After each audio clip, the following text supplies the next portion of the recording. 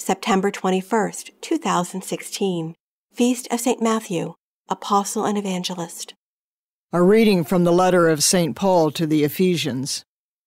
Brothers and sisters, I, a prisoner for the Lord, urge you to live in a manner worthy of the call you have received, with all humility and gentleness, with patience, bearing with one another through love, striving to preserve the unity of the Spirit through the bond of peace.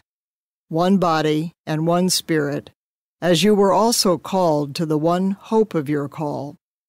One Lord, one faith, one baptism, one God and Father of all, who is over all and through all and in all.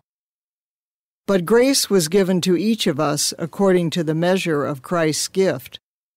And he gave some as apostles, others as prophets, others as evangelists, others as pastors and teachers, to equip the holy ones for the work of ministry, for building up the body of Christ, until we all attain to the unity of faith and knowledge of the Son of God, to mature manhood to the extent of the full stature of Christ.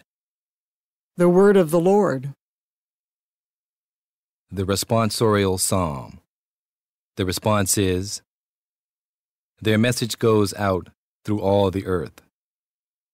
The heavens declare the glory of God, and the firmament proclaims his handiwork. Day pours out the word to day, and night to night imparts knowledge. Their message goes out through all the earth. Not a word nor a discourse, whose voice is not heard. Through all the earth their voice resounds, and to the ends of the world their message. Their message goes out through all the earth. A reading from the Holy Gospel according to Matthew.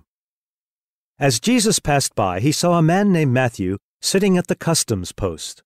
He said to him, Follow me. And he got up and followed him. While he was at table in his house, many tax collectors and sinners came and sat with Jesus and his disciples. The Pharisees saw this and said to his disciples, Why does your teacher eat with tax collectors and sinners?